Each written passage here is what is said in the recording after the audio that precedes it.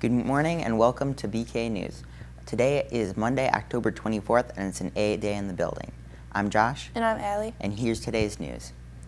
Halloween is right around the corner, and you know what that means. The perfect time for a house competition. On Monday, October 31st, dress up in a Halloween costume or your house shirt and uniform pants. Represent your house during ELT in a spectacular Halloween costume competition.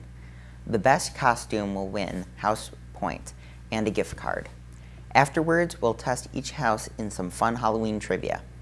Get ready for B BK's spectacular Halloween event.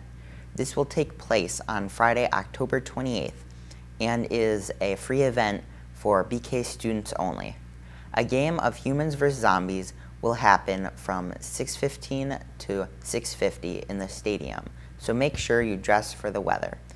Starting at 7, all students are invited to the auditorium for a screening of Hocus Pocus 2. High school students, make sure you stick around for after Hocus Pocus to watch The Conjuring. If you're under 17, you must have parental signed permission slip to watch this movie. Get your tickets for this spectacular night at the Student Life office.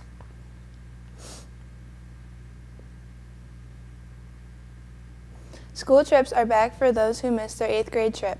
We will have two trips this year for all juniors and sophomores. There is a school trip to Boston, Massachusetts, two nights and three days, March 29th through 31st. There will be an informational meeting during the first half of ELT on Tuesday, October 25th. For all freshmen and current 8th graders, there is a school trip to Washington, D.C., two nights and three days, May 3rd through 5th. There will be an informational meeting during the second half of ELT on Tuesday, October 25th. Our Lady of Mercy is hosting a Francophone night on November 3rd, 2022 from 7 through 8.30 p.m. This event is open to all 9th through 12th grade speakers or students of the French language. For the opening mic, students may give a reading, perform a skit, sing a song, or anything in French.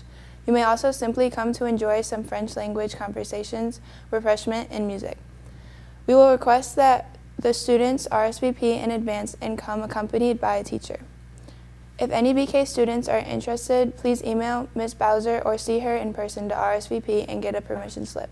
Ms. Bowser highly encourages any of our international students who know French to attend this event if possible.